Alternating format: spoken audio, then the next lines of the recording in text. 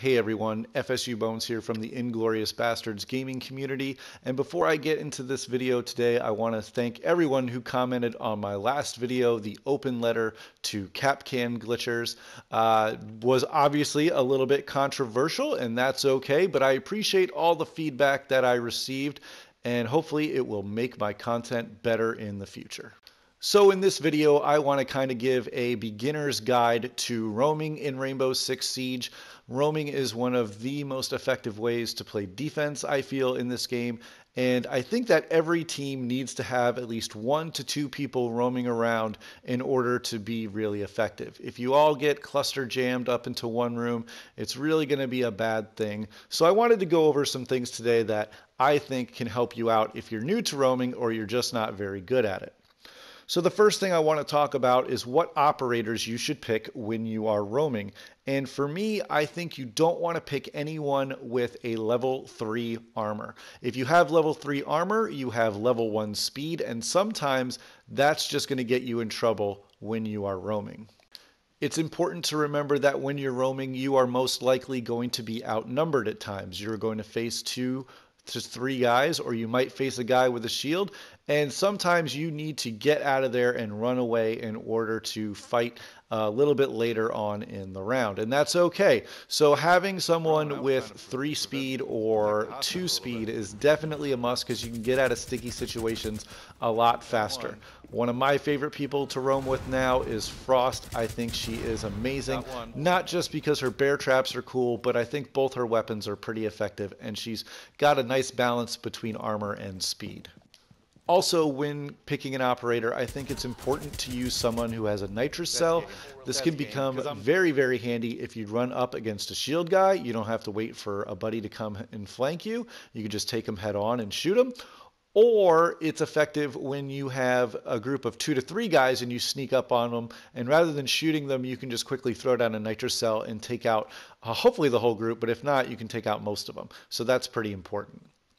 Now that you got your operator picked, it's important to consider where you want to start when you first spawn in, or actually I should say when the preparation phase ends.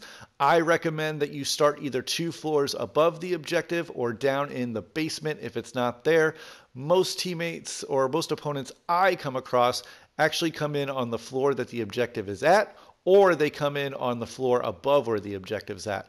So that's a pretty good starting point if you want to be is two floors above or down in the basement.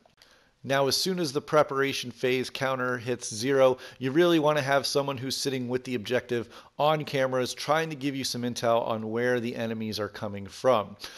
Even a shot out camera can give you valuable intelligence. If you know they shot out the construction site and you have good map knowledge, you can figure out where they're coming from. And this way you can adjust your starting point accordingly. Remember, you don't necessarily want to be in the room that they're going to come in on, especially if you're playing uh, a more passive way of roaming. So, what is passive roaming? Passive roaming is where you kind of sit back and let the enemy get past you, and you can kind of sneak up from behind and just wipe them all out as while while they're either stacking up on a door or while your uh, teammates engage them from the front. This is a very effective tactic, and I encourage you to use it. It requires a lot of patience, and you've got to figure out the timing of the enemies. But if you do it well, it can get you some really quick kills. Aggressive roaming is a little bit more different. Instead of letting the team pass you by, you really want to meet them head on as quickly as possible once they spawn in. So this might mean, okay, I use my intelligence. I know they're on the third floor. I'm going to try to get there hard and fast and take them out as quickly as I can. This is really effective if you're carrying a shotgun. Run in there as soon as they bust open a window and pop them as soon as they leap through. Aggressive roaming can also be done with SMGs, especially if you're going to pop out windows and try to shoot enemies as they get into the building. This can be very effective, although I know it's controversial, but I found it to be a really useful tool. You don't even necessarily have to get kills in order for it to be effective.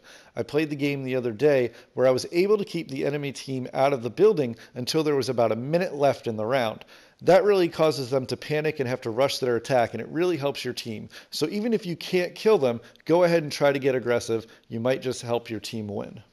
Finally, having a buddy to roam with you can also be effective. You might have noticed in these last two clips, me and Woes were kind of roaming together, and we used some really good coordination to kind of uh, hit the enemy from both sides. So if you can have a buddy and you can communicate well, I would consider you using a buddy as well.